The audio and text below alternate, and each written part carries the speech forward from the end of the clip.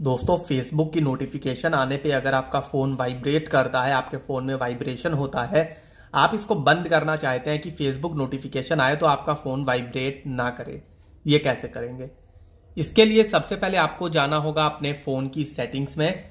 Settings में जाते ही इस टाइप का इंटरफेस मिलेगा। यहाँ पर करिएगा नीचे की ओर स्क्रॉल तो आपको एक ऑप्शन दिखाएगा नोटिफिकेशन एंड कंट्रोल सेंटर का। आप इस पर क्लिक करिए। क्लिक करते ही ऐप नोटिफिकेशन का ऑप्शन मिल जाएगा। आप इस पर क्लिक करिए। इस पर क्लिक करते ही आपको ऐप्स की लिस्ट मिल जाएगी। तो यहाँ पर अब आपको करना क्या है? आपको ढूंढ लेना है फेसबुक कहाँ पर है। ओके? अगर लाइट यूज़ करते हैं तो लाइट ढूंढ लीजिएगा कहाँ पर है। ये रहा लाइट आप इस पर क्लिक करिएगा। क्लिक करते ही आपको एक ऑप्शन दिखाएगा अलाउ वाइब्रेशन का। आप इसको क्लिक करके बंद कर दीजिए। जैसे ही बंद कर देंगे, आपके में फेसबुक नोटिफिकेशन वाइब्रेशन बंद हो जाएगा।